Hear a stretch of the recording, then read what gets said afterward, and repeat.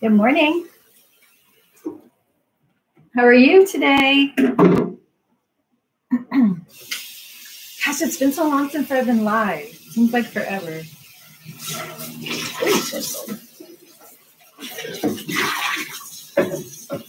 So I'm going to show you guys how to scour the wool that's in the spinning box this month. Um, the spinning box is, oh, I'm Mary Egbert.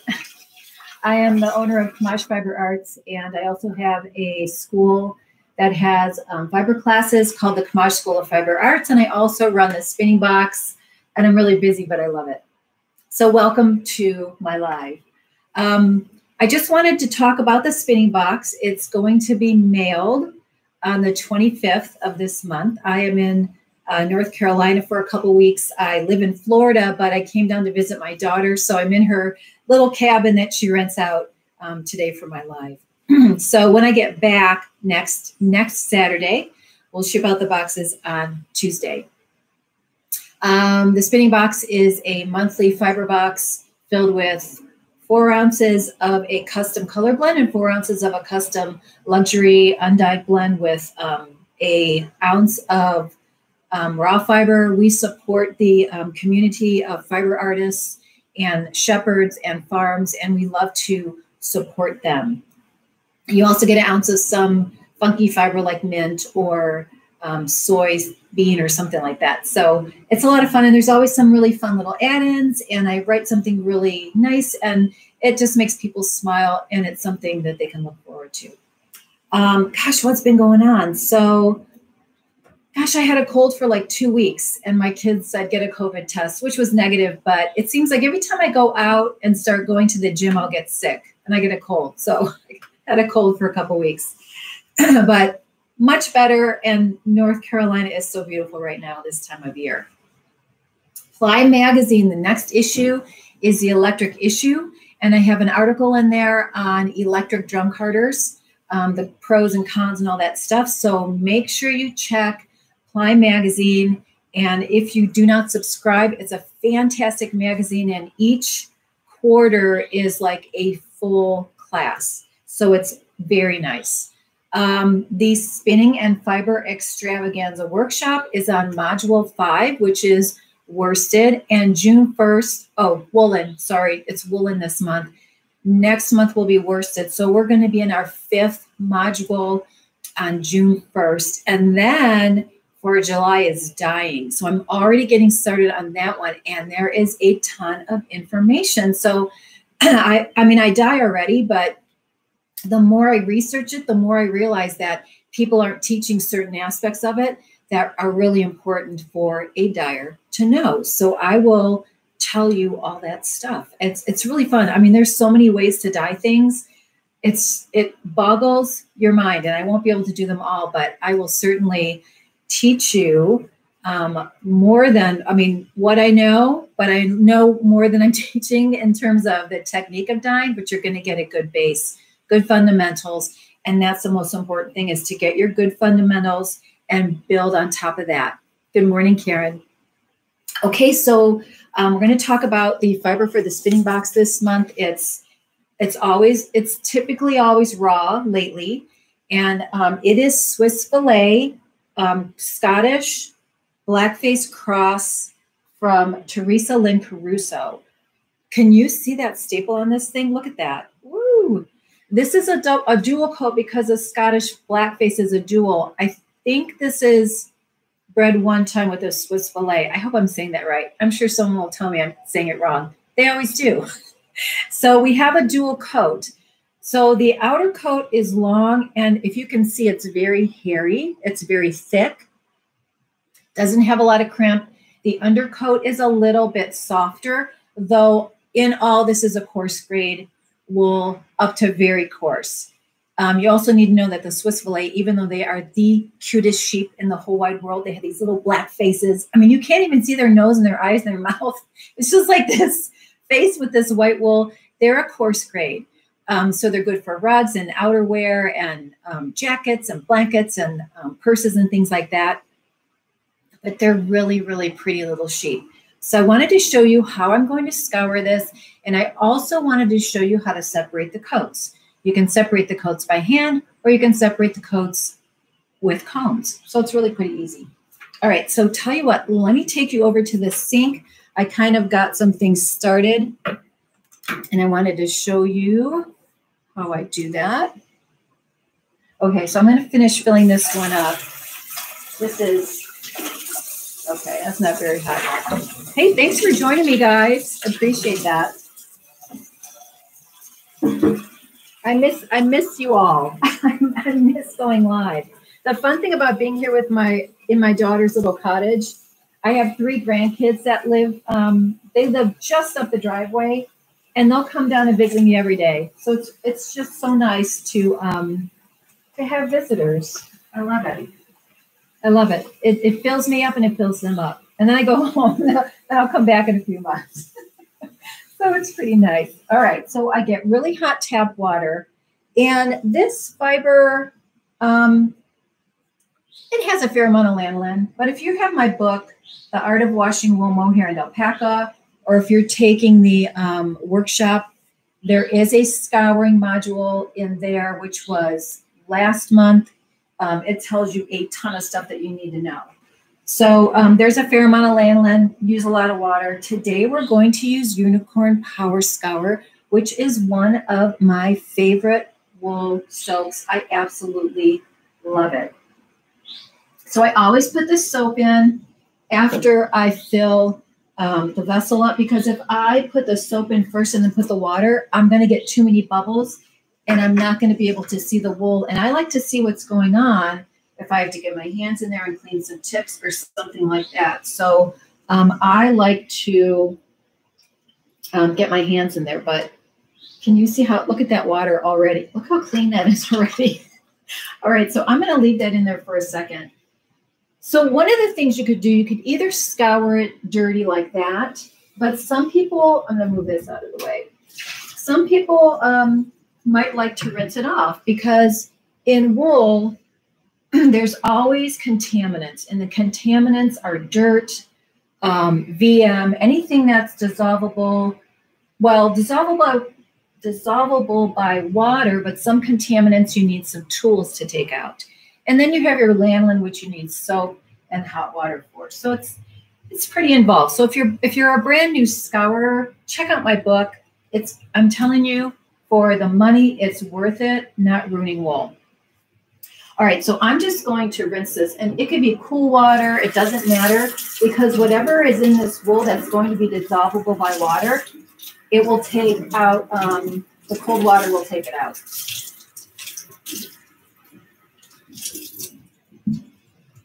So just by rinsing it, do you see the difference? Check this out.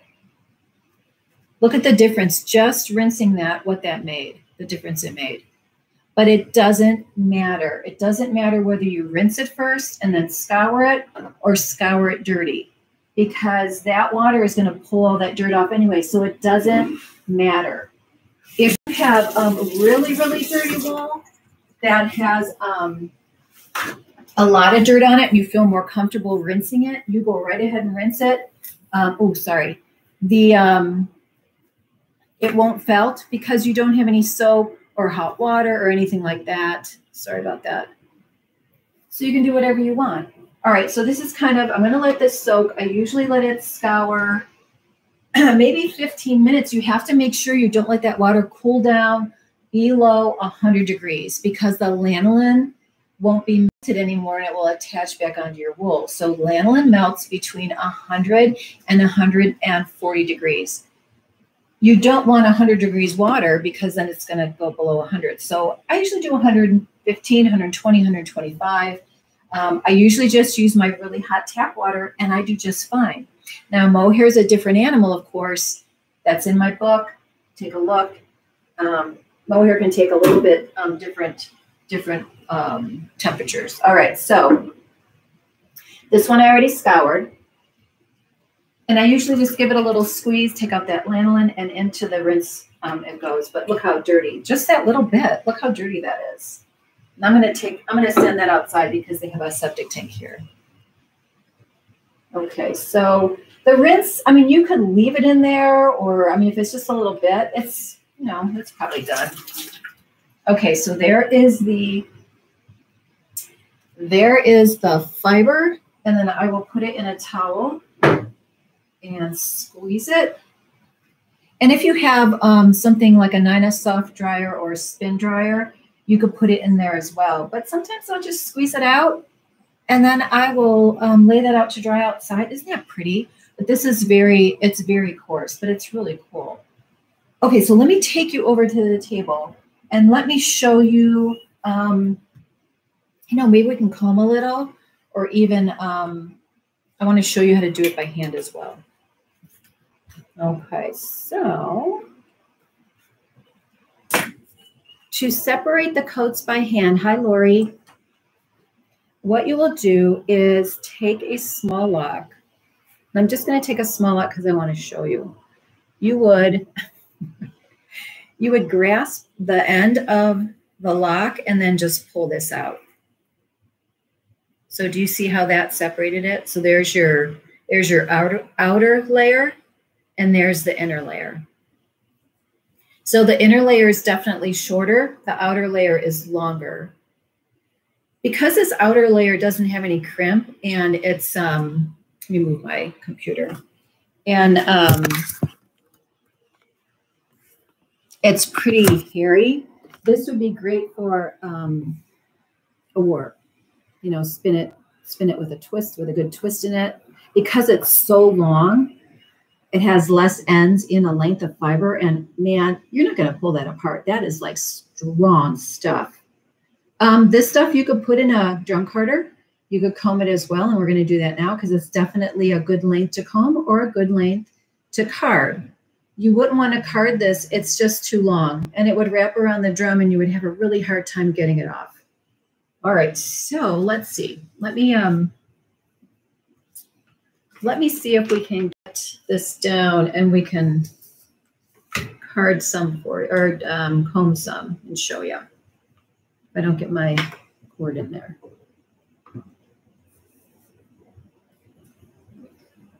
I hope you guys are doing okay. We we had a gas shortage here. There's still no gas in the gas stations. It's crazy. It's absolutely crazy. All right. So when I comb these long um, fibers, I may loosen the ends. So I want to load the cut in on the comb. Yes, it's so crazy. It's so crazy. Oh my gosh. Just one thing after another, right? One thing after another. And then I just loosen the end just a little bit and I I gently go this way, gently put it on, make sure I don't um, poke myself. Yeah, it's like the gas station down the street doesn't have um, doesn't have any gas. I think people are um, getting stressed out, you know, especially companies that use, um, you know, gas for maybe lawnmowers or things like that. They're the ones going and filling up a little bit because they have to work. It's their business, right? Whatever. I just received those. Oh, oh, Karen, did you get these? the um, Woolen Woodworks. Do you love them? I know, I'm not kidding. I do everything on these.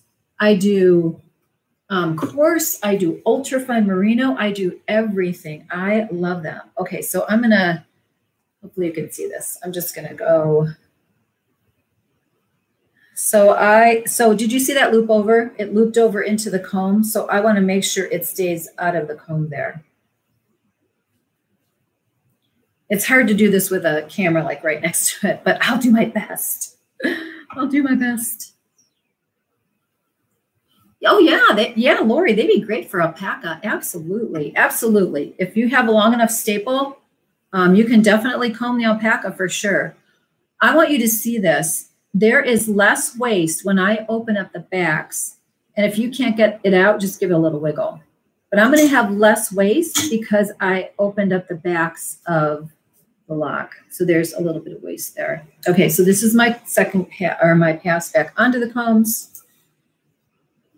You know, I used to raise alpacas and um, I had a Patrick Green drum carder that I carded them on.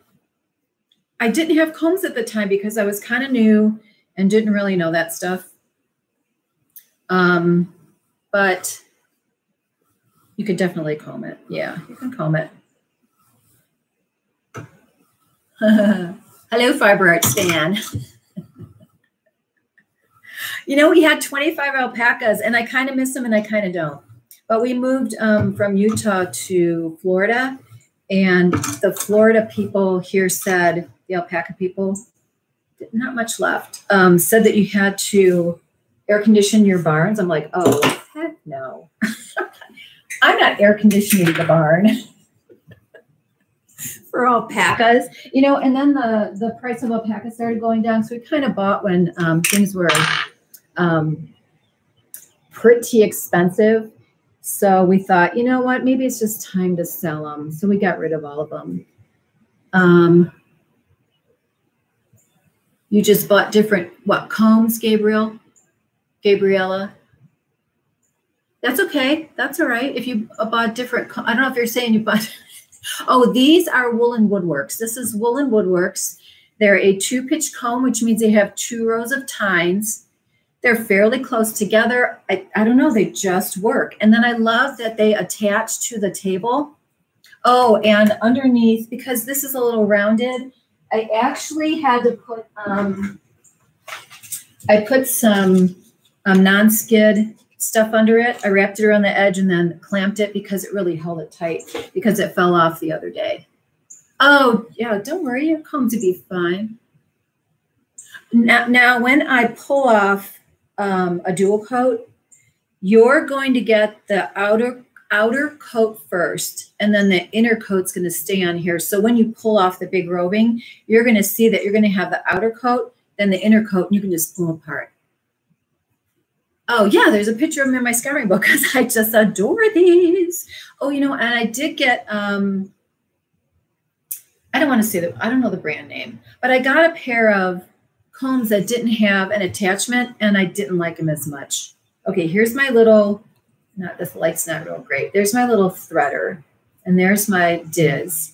I put the concave side towards the um towards the combs because I want the, the fiber to funnel in. All right, so if you want to use, it doesn't matter what size um, hole you use. Sometimes people will say, well, if you're gonna spin a thin yarn, use a thin hole. If you're gonna spin a thicker yarn, whatever. You know, you just decide what you um, find is best for you. Okay, then I put that little piece of um, wire through there. So the wire is here, you can't really see it. I take the end and I twist it, I loop it through, and then I'll pull it through the hole. Now, the biggest thing about combing is you want to make sure you don't draft past your staple length.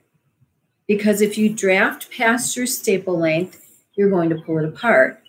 Then you also have to remember with these dual coats, the outer layer is super long, the inner layer is a little shorter, so you kind of have to adjust adjust for that. But this, these um, horse grades are really easy to draft. But make sure and use your little grippy, squeezy things. Exercise your hands. Keep your grip strong as you get older because you want to keep doing this stuff, right? I, I do. I'm I'm getting old, but um, because I um, keep my grip strength strong, I have a little squeezy thing on my desk, and I use it all the time because I don't want to stop doing this. All right, there's the waste.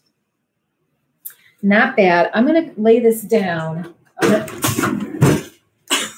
as I fall. I'm going to lay this down on a darker um, background, and I want to show you what it looks like. So give me just a second.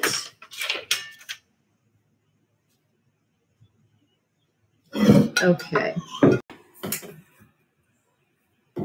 All right, let me move my stuff.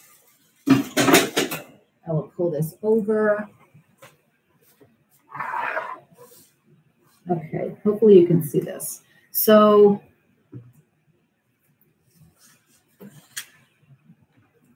here is the roving that, or well, actually it's comb top that came off of that. So this was the outer layer.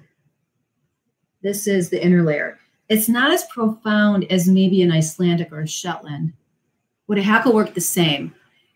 Um, here's the thing about hackles, Sharon. You would still need combs because you need to um, kind of comb. Well, no, because I put it on one comb and I took it off one comb and put it on the other comb.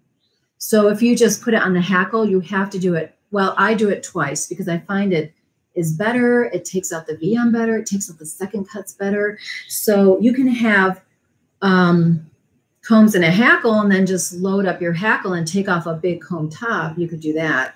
So, but I don't really find, um, you know, just a hackle um, is good for that.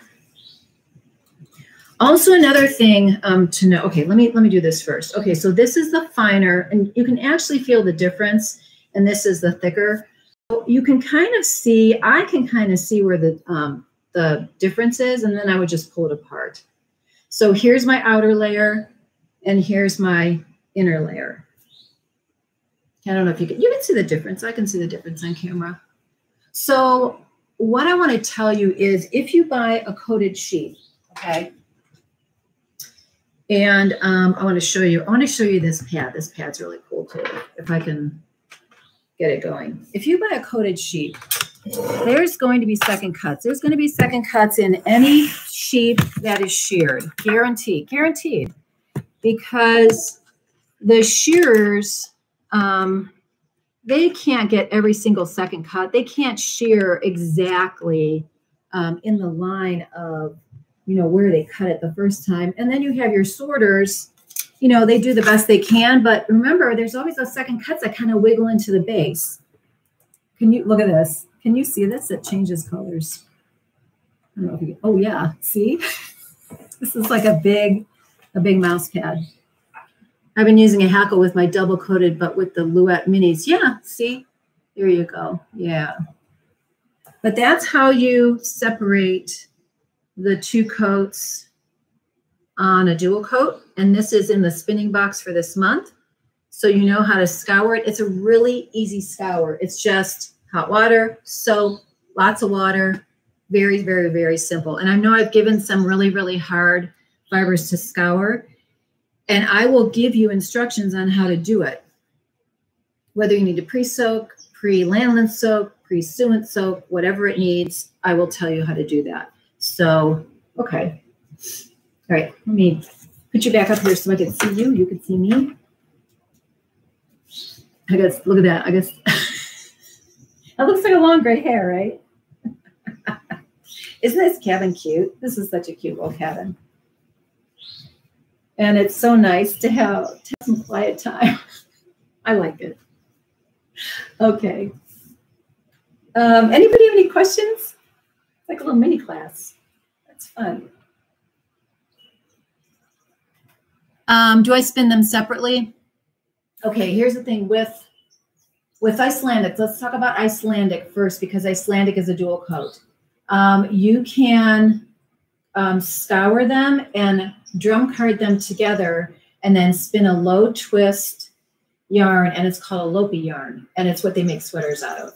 Um, you can separate um, in Icelandic, it's called the and the tog. I don't know if you would name this the and the tog, but it's the outer layer and the inner layer. You could, I don't know, like I said, I don't know if you want to card it because that outer layer is this long. It's going to wrap around the drum and you'll never get it off. I mean, you'll have to cut it. It'll just, it's, it'll be a nightmare, honestly. or if you want to cut it, you could just card the whole thing together and then spin them together. Again, it's a coarse or very coarse grade wool, so it's not going to be next to skin. It will definitely be a rug quality, but still, every wool is good for something. Every wool. Um, you could spin this outer hairy layer and make a warp because it has really long fibers. So when you think about spinning and you think about spinning a long fiber, you have don't have a lot of ends, right? Because the ends are so far apart. This would make an excellent warp you can definitely spin this into something else and it is noticeably softer and it's loftier. So you could spin this into something else, but you could do whatever you want. Okay, let's see. Um, thanks for joining me. What time is it? My grandkids are coming over for lunch pretty soon. So, and then they're going to sleep overnight tomorrow night. So, all right, guys. Hey, it was a lot of fun seeing you. Don't forget about Ply Magazine. and my article in, in the Ply magazine. Don't forget about the Spinning and Fiber extra, Extravaganza workshop. We're in the woolen module. Uh, next month is the worsted. If you join, you start from lesson one, module one, and work your way through. Once you're done paying for the whole year, you'll see there's different payment structures. You can pay all at once, or you can pay monthly, or every. You'll see. Um, once you pay, you have access to that workshop whenever you want, as long as I'm alive or as long as my website is alive. You do not own the um, the thing, so please don't share them with people. Don't share your passwords and all that stuff because this is my living. It's how I make my living and how I pay my bills, and I absolutely love sharing what I know with all of you. Um, all right, all right. Love you guys. Bye. Bye.